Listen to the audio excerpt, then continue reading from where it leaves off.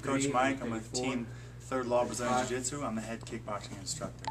On Monday, we showed you guys how to use the, uh, the, the Muay Thai bag, the heavy bag. Today, we're going to show you how to use the windy wall bag. This is one of my favorite bags, and I think it's probably going to be one of yours after I show you a couple things about it. As you can see, there's one, two, 137, three, 138, four of these white dots on the bag. You can throw uppercuts, boom, you can throw 41, hooks, boom, 42. you can throw elbows here, you can jab, boom. It also has a lower section, so you can throw a jab, you can drop down, throw a jab at the bottom. Alright? You can also throw knees, all sorts of stuff with this bag. This is one of the most diverse bags you're ever gonna find in a, in a martial arts academy. So make sure you get a lot of use out of it. Alright guys, I know you can hear it in the background. But um, I'm sorry we had to shoot during this, but if you can see, we have um, Camilo Castro.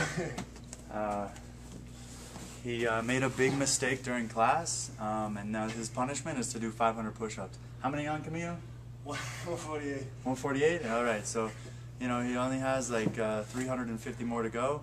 Um, so guys, make sure when you're in class, you're very respectful, and uh, you show plenty of respect to Master Roberto over here and uh, all the other instructors. Coach Mike, guys. how, how is more requests? What's that? What's a cool uh, warm up we could do for uh, developing our hands and our knees and stuff in this bag? I mean, like a cool uh, workout, you know? A good workout for this bag, guys, is just mixing it up. You know, don't sit here and just jab, jab. If you're gonna use this bag, you wanna use a lot of angles, a lot of different punches. All of the punches that I show you guys in class. You know, here, come back, throw your right hand, bang, body punches, doubling things up. The trick is with this bag is just keep it, keep it moving. All right, um, and just put on the timer, the stopwatch, two minutes, and go hard. This thing's bolted to a cement wall. It's not going anywhere.